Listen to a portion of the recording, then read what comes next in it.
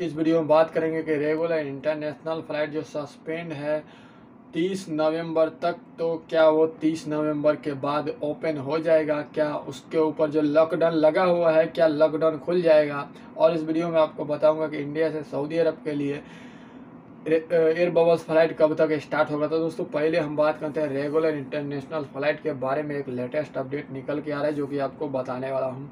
तो देखिए, बहुत लोग कह रहे थे कि नवंबर के बाद जो है ओपन हो जाएगा हो जाएगा। बहुत लोगों का सवाल था कि हो जाएगा, लेकिन दोस्तों, यहाँ पे जो है आज डीजीसीए ने ट्वीट करके सब लोगों को बता दिया, छब्बीस छब्बीस तारीख ग्यारहवा महीना 2020 को यहाँ पे देख सकते हैं। लिखा है, travel and visa restriction related covid nineteen के वजह से जो है ये सब चीज़ बंद रहेगा। यहाँ पे लिखा गया है कि 31 दिसंबर 2020 दिस 2020 तक जो है रेगुलर इंटरनेशनल फ़्लाइट सस्पेंड रहने वाला है और एयर बबल्स फ़्लाइट जो चल रहा था उसी तरह चलते रहेंगे।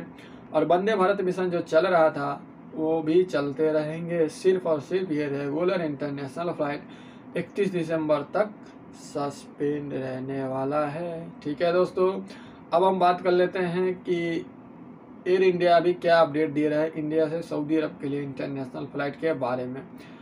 तो दोस्तों ट्विटर पे अभी यही चल रहा है। एयर इंडिया सब लोगों को कह रहा है कि air there sir till date air bubbles arrangement are sign ठीक है?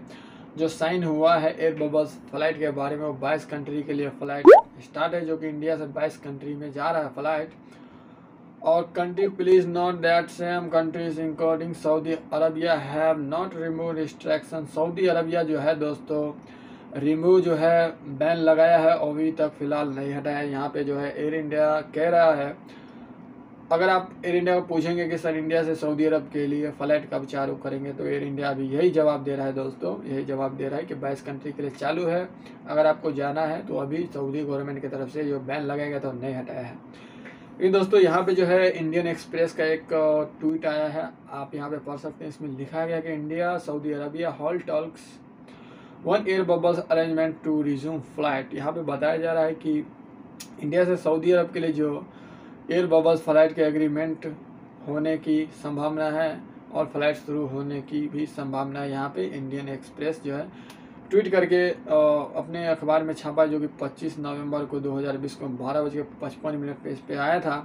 और यहाँ पे दोस्तों आप पढ़ सकते हैं, इंडियन एम्बेसी ने भी एक ट्वीट करके बताया था कि इंडिया से सऊदी अरब के लिए इंटरनेशनल फ़्लाइट शुरू होने वाला है। इसके बारे में जो है बातचीत चल रहा है, जल्द से जल्द ही शुरू हो जाएगा, ठीक है? लेकिन दोस्तों ये जो आप ट्वीट देख रहे हैं, ये ट्वीट जो है कुछ दिन के मतलब एक दिन बताया दूसरे दिन जो है इंडियन एम्बेसी ने जो ट्वीट देख रहे हैं डिलीट कर दिया है।